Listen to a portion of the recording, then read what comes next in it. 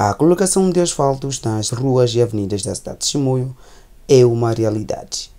Hoje vamos falar do dia a dia dos envolvidos na colocação do tapete nas ruas e avenidas.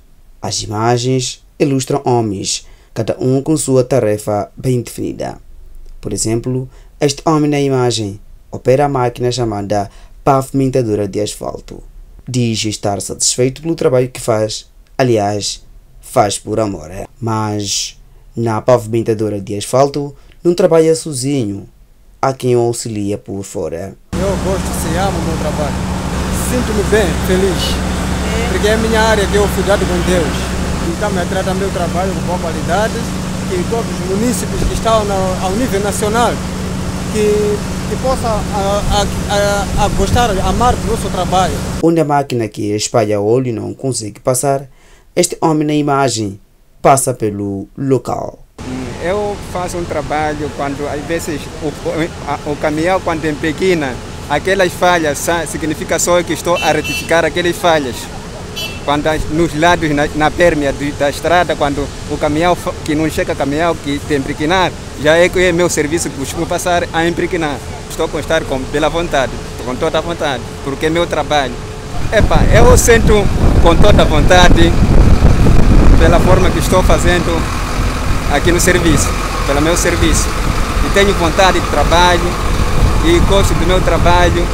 Falando de espalhar, há quem espalha também o asfalto. O trabalho do asfaltador é assim: quando passa a máquina espalhadeira, tem certas partes que a máquina não consegue fazer chegar à massa.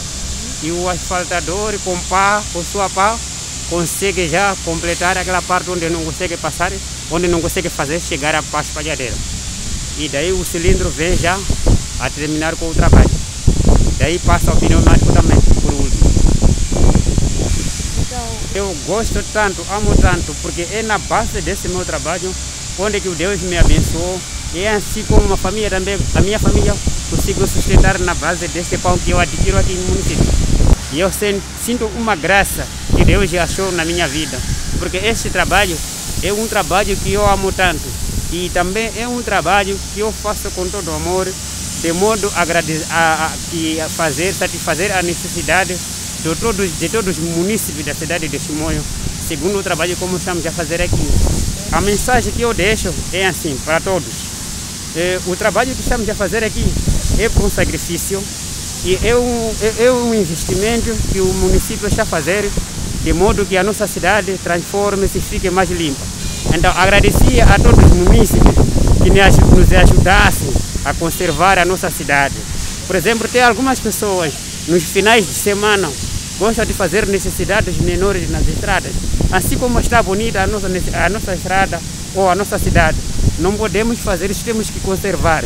Acho que come sua banana, tem um lixo, pôr no lugar necessário, não de dar mais na estrada, enquanto a nossa estrada está mais bonita, senão tudo não vai ser mais bonito. Depois da rua 4 de outubro, Avenida da Liberdade e Rua Josina Machel, esta semana as máquinas roncam na rua de Barwe.